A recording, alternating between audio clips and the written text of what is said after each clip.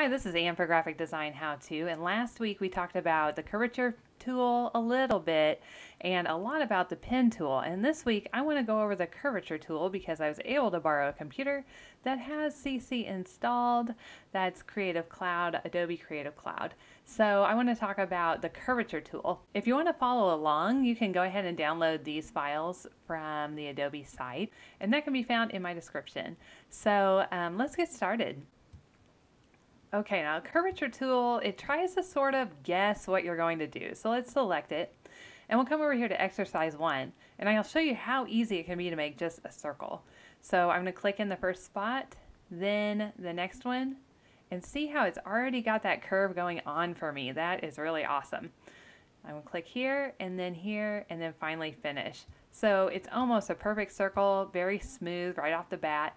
With the pen tool, you would be uh, probably not quite as smooth as this. The curvature tool really tries to guess what you're trying to do and then make it smooth.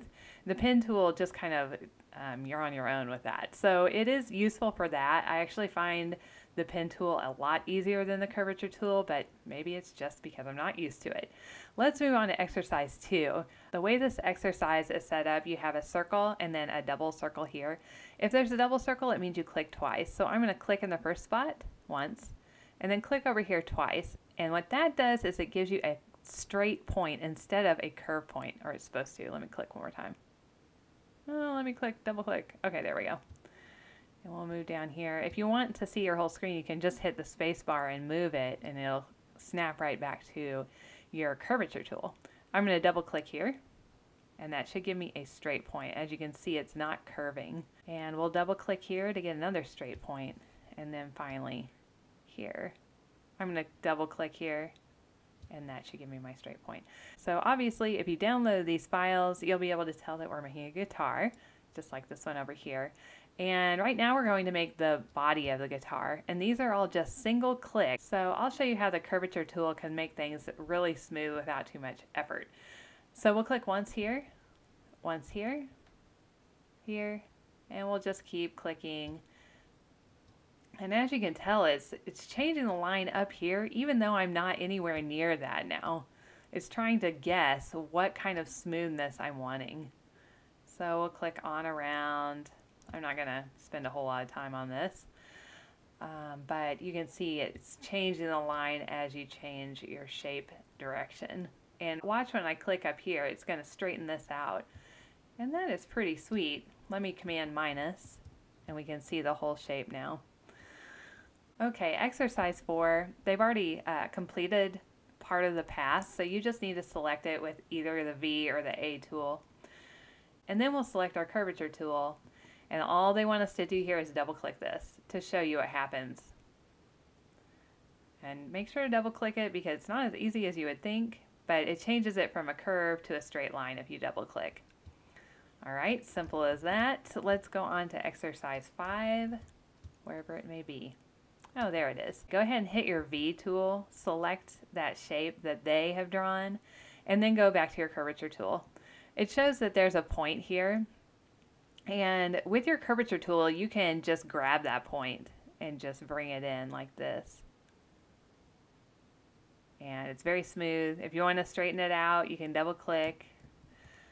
Um, but that's basically the entire guitar.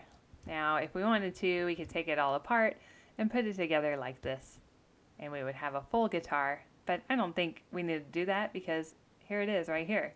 So yeah, I'm not doing that. Um, I do want to go over a couple of the tools that are underneath this pen tool and they are add anchor point, delete anchor point, and anchor point tool. I'll show you what each one of those does. If you add the anchor point, let's zoom in with the Z tool. I am going to select this with my A tool and then um, to add an anchor point you hit P and the plus key on your keyboard. If we have this P plus, we can click on different parts of this path and just add points along there. You have to click right on that path though.